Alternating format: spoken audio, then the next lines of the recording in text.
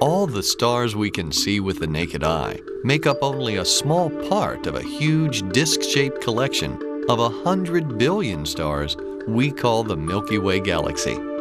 Our galaxy is only one of an estimated 100 billion galaxies in the universe. NASA's great observatories in space, including the Hubble Space Telescope and the Chandra X-ray Observatory, have teamed up to probe the farthest recesses of the universe.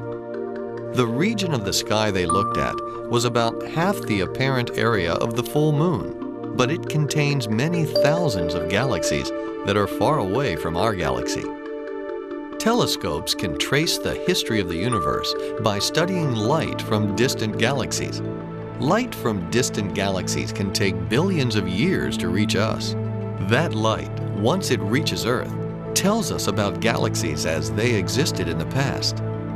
The telescope's observations are called GOODS, or the Great Observatory's Origins Deep Survey, which concentrated on this section of the sky to study tens of thousands of galaxies that stretch back in space.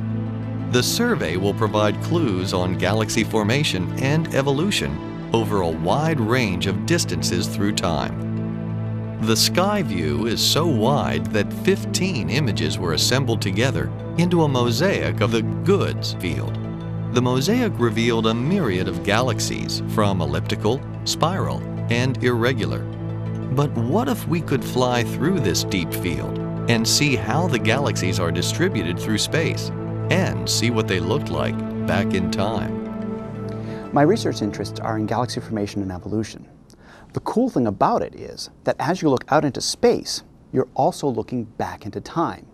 And if you can look far enough out into space, you can see galaxies as they were billions of years ago, which means these are galaxies as they were forming. So the Goods field represents this 20,000, 30,000 galaxies stretched all the way across the universe, not only in space, but also in time. Being able to fly through the Goods field allows you to get a visual history of galaxy formation and evolution, and that's compelling.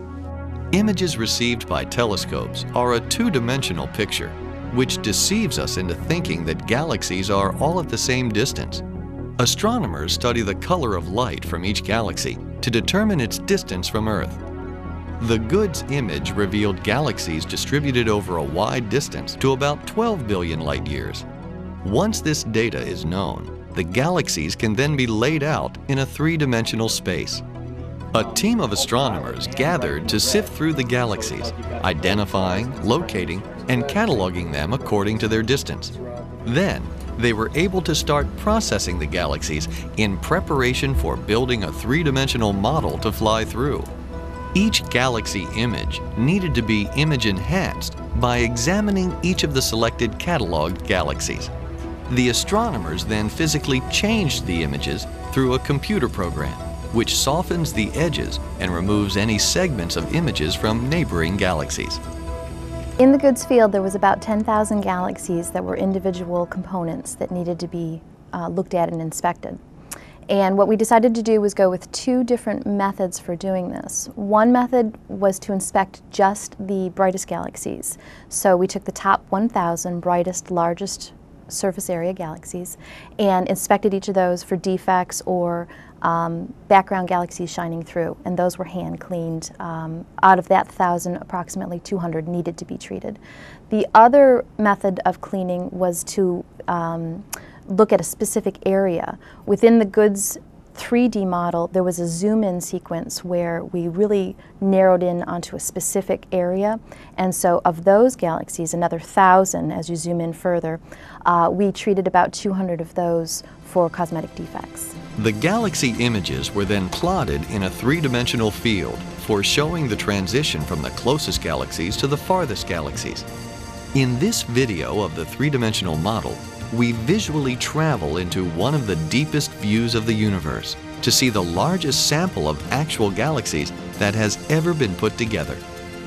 You see wave after wave of galaxies, first moving towards and then past you.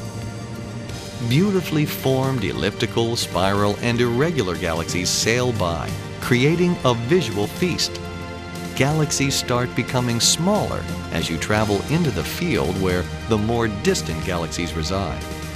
images of galaxies start coming into your view. Some are smaller and not completely formed. Others are thin wisps of galaxies, which are in their beginning stages.